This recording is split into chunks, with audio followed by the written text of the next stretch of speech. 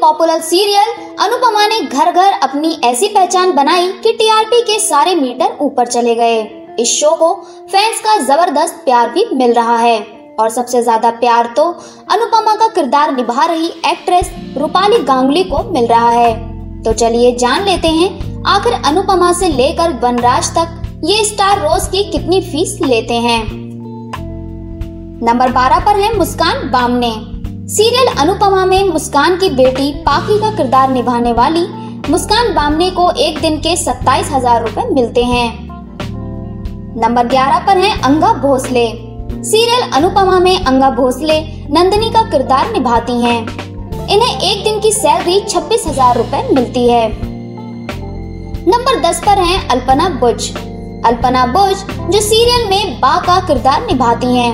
इन्हें एक दिन का लगभग बाईस हज़ार रूपए वेतन मिलता है।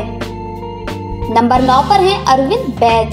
अरविंद बैद, यानी अनुपमा के बाबूजी को एक दिन की फ़ीस करीब पच्चीस हज़ार रूपए मिलती है। नंबर आठ पर है तस्नीम शेख। तस्नीम शेख को कई टीवी सीरियल में निगेटिव रोल करते देख चुके हैं। इसमें भी तस्नीम निगेटिव रोल में ही नज़र आती हैं। इनके किरदार का नाम राखी दवे है। इन्हें एक दिन की सैलरी अट्ठाईस हज़ार रूपए मिलती है। नंबर सात पर है आशीष मल्होत्रा। वनराज शाह और अनुपमा शाह के बड़े बेटे परितो शाह रोल में नज़र आ रहे हैं। आशीष को एक दिन की सैलरी तैतीस हज़ार रूपए दी जाती है। नंबर छह पर है निधि शाह। सीरियल अनुपमा की किंजल यानी निधि शाह को एक दिन की फ़ीस के तौर पर बत्तीस हज़ार रूपए दिए जाते हैं।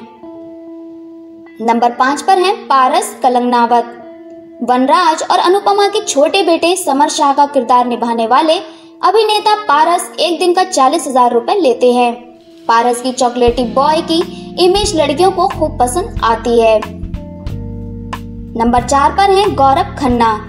कानपुर के गौरव खन्ना काफ़ी लंबे समय के बाद टीवी पर लौटे हैं। इसमें वो अनुज कबाड़िया नाम के बिजनेसमैन की भूमिका निभा रहे हैं। गौरव को एक दिन की फ़ीस पैंतीस हज़ार रूपए मिलती है।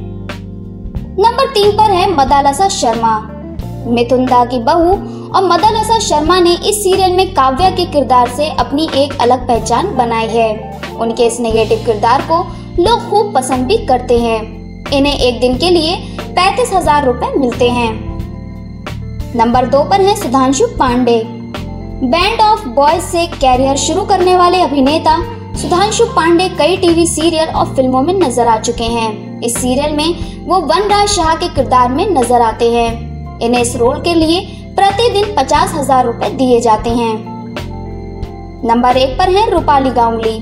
सीरियल अनुपमा की अनुपमा, यानी एक्ट्रेस रूपाली गांगुली का किरदार एक ऐसी औरत का है जो सिर्फ़ परिवार के लिए जीती है। रूपाली पहले एक दिन के साठ हज़ार रूपए लेती थी। फिर एक दिन के डेढ़ लाख रुपए लेने लगी और अब खबरों की माने तो उन्होंने अपनी फ़ीस डेढ़ लाख से बढ़ाकर तीन लाख रुपए कर दी है। तो दोस्तों, आपको हमारी न्यूज़ कैसी लगी, आप हमें कमेंट बॉक्स में ज़रूर बताएँ।